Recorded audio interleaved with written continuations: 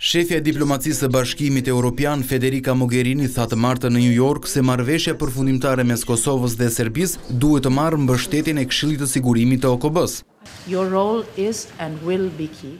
Roli juaj është edhe do të jetë vendimtar dhe ne jemi të gatshëm, edhe unë personalisht. Kemi rastin ta intensifikojmë diskutimin me të gjithë anëtarët e Këshillit të Sigurimit të OKB-së. Mogherini theksoi se heqja e taksës është e domosdoshme për rifillimin e dialogut mes Prishtinës dhe Beogradit.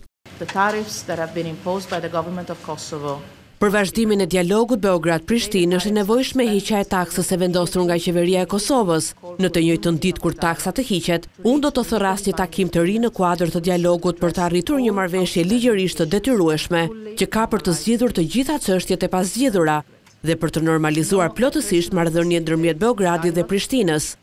Edhe pse jam ndërmjetësuese në dialog, ai nuk më përket as mua as BE-së, por palëve në proces. Iu mbetet atyre të gjejnë një marrëveshje që do të ishte e pranueshme mes tyre.